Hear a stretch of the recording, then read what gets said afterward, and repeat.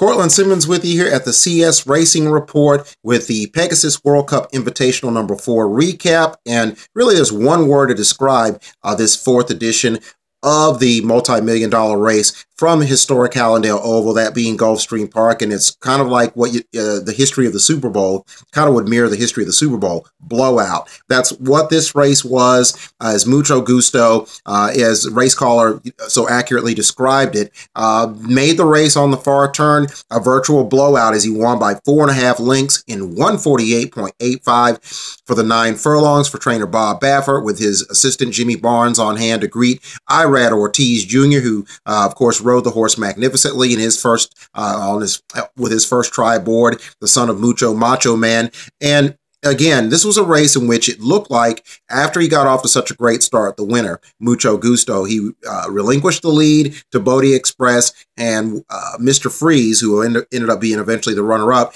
who set all the early fractions 23.77, 47.78 for the quarter uh, and the first half mile, respectively. And those two horses in tandem set the fractions as Mucho Gusto sat Chile in third uh, with an inside trip, saving the ground. Uh, he rated very kindly the way he did in the Robert Lewis and a couple of his other stakes races for those who thought that he was basically a speed burner. Didn't need the lead was able to make his move at a time and a point in a race when higher power looked like he was making better progress uh, than uh, Mucho Gusto. Mouth open, looked like he might be struggling a little bit, and it appeared that he was going to make a bid uh, and threaten the top two. And all of a sudden, Irad basically let out a notch on Mucho Gusto, and he, of course, quickly uh, moved in on the leaders. Uh, and right on the turn, uh, with about a little less than three furlongs out, he basically made the other two seem as though they were in their own private races he rushed up quickly into contention uh, to overtake the race. And as I said before, you know, really did sort of opened the race up once he blew by those two. And War Story uh, made a nice bid along with Diamond Oops uh, to get the, the, the placings behind Mr. Freeze as Mucho Gusto, as I said, won by four and a half. Mr. Freeze three quarters of a length in front of War Story, who was three quarters of a length in front of Diamond Oops. So those horses uh, had a nice little scrum uh, going on as Mucho Gusto streaked away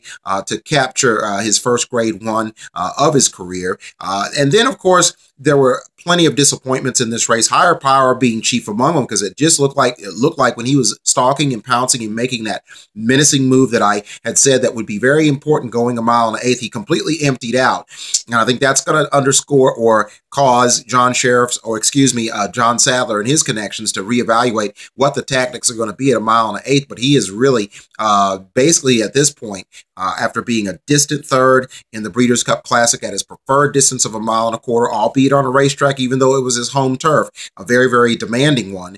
Um, and being kind of a non-factor in the race prior to that Breeders' Cup that I thought would set him up for his added for the added distance of the Breeders' Cup Classic in the awesome again, and then getting his horseshoes just completely just you know taken off its foundation in this race. Now all of a sudden, higher power becomes a price, uh, and also, the question um, will be posed is he just a California phenomenon that can't take his show on the road? So that's going to be a question mark that he may not have to answer uh, anytime soon, even though he is projected to possibly be an entrant in one of the Middle Eastern uh, classics, be it the new Saudi Cup or the Dubai World Cup at that mile and a quarter distance. So um, whether he takes his show or gets another opportunity to prove disprove those who think that maybe he's a California phenomenon, uh, again, it may be a case in point where we find out sooner than later uh, if it is in fact there's some traction and some uh, legitimacy to it uh, once he goes back to California if he doesn't participate uh, in both or one of those races in the Middle East. But we're going to find out certainly at some point. But he did not run very well. He ended up finishing last, as you see. Um, the of course the full order finish for this fourth edition of the Pegasus World Cup Invitational. Tenfold, he's a horse that just doesn't belong in this kind of company. He's going to have an opportunity maybe at the fairgrounds and or Oaklawn in some of the stakes there to maybe perhaps prove that he can uh, be a, a, legitimate horse, but he was nowhere to be found in here. Bodie Express contended and then just, you know, once Mucho Gusto um, uh, you know, swoop by he and Mr. Freeze, he became discouraged, and that was the end of him, finishing fifth. True Timber really never picked up. And then one of the horses, a horse that I love, but I didn't think in this spot despite running a good number in the Discovery Handicap, finishing second to an up and comer who should be one of the major players in the handicap division in this new calendar year of 2020.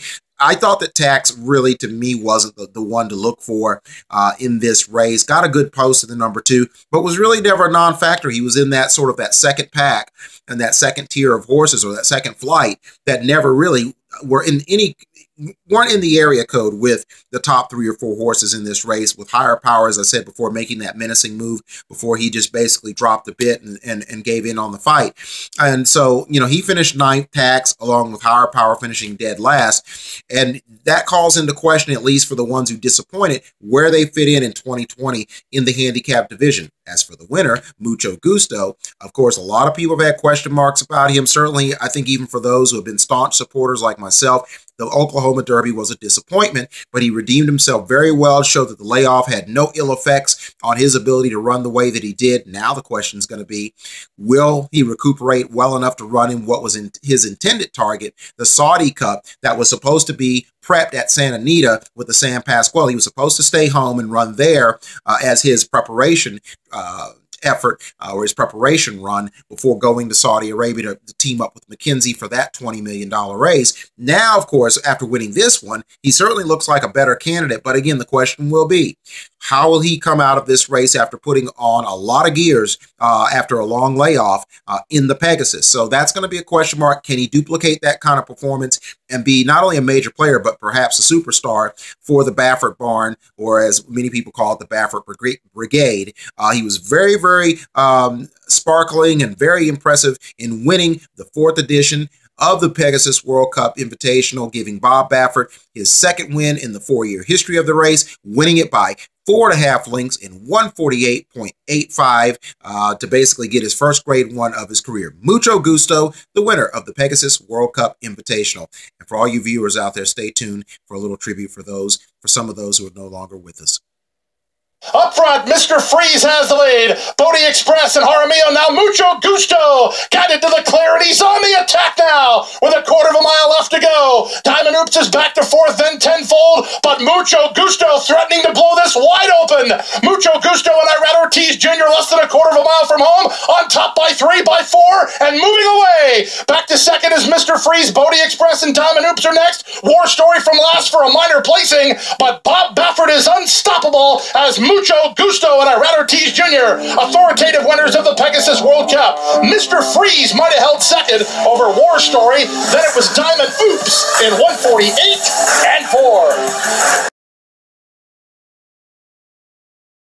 This coverage by Landry. Ariza dropped down. Kobe!